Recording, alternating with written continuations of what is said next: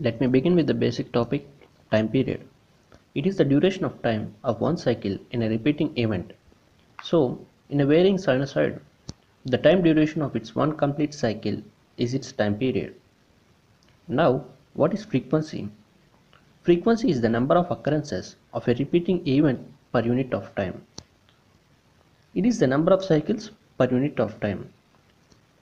Thereby, from the definition, we conclude frequency is inverse of time period, that is, f equal to 1 by t.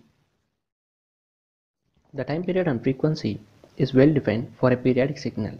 Now, if we take a random signal, does it have a time period? No. The time period cannot be defined for a random signal as it doesn't have any repeating event. Whereas it has a frequency range like our audio signals are non-periodic but still we have a frequency range. Joseph Fourier, a French mathematician, had discovered a powerful theory which made the world to deal in frequency domain. He states that any signal that may be either periodic or aperiodic can be expressed in terms of simple sine and cosine of different frequencies. Fourier series Fourier series is part of Fourier theory and states that any periodic signal can be decomposed into sine and cosine whose frequency is the integer multiple of fundamental frequency. If x of t is a periodic signal, it can be expressed as sum of constant amplitude, cosine and sines. Now, we try to represent a square wave in terms of sine. We take sinusoids of different frequencies and different amplitude. When we combine these signals together, we get an approximate square wave. When we increase the number of harmonics, the signal is more approximated to the square wave. In general, the Fourier series is given by the expression and the coefficients are derived by using integration. The coefficient gives the amplitude of harmonic signal at a particular frequency. The Fourier series is also given in complex exponential where the signal x of t is expressed in complex sinusoids. Here Cn represents the amplitude of nth harmonic signal. Take a square wave x of t of frequency omega naught.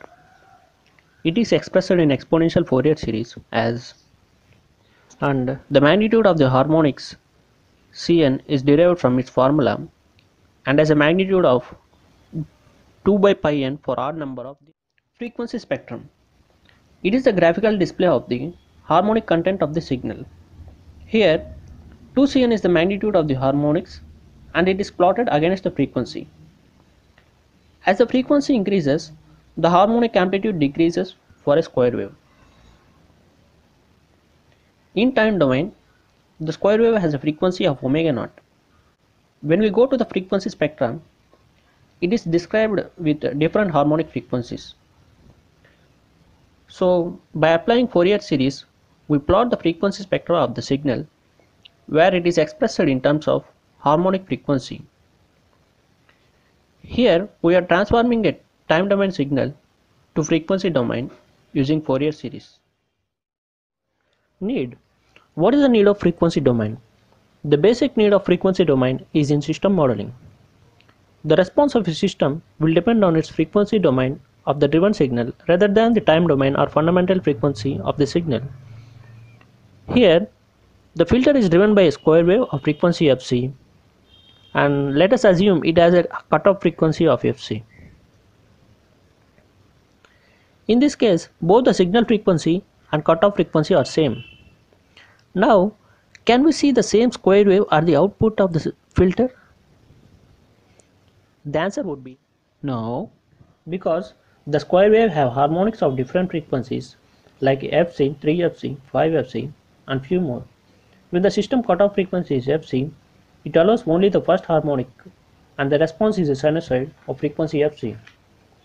If you change the system cutoff frequency to 3fc and 5fc, it allows even the further harmonics and the response is the sum of those harmonics. So, we conclude in any system design, the bandwidth is chosen such that it, it should satisfy the frequency range of the applied signal so that the signal is restored with, without any distortion.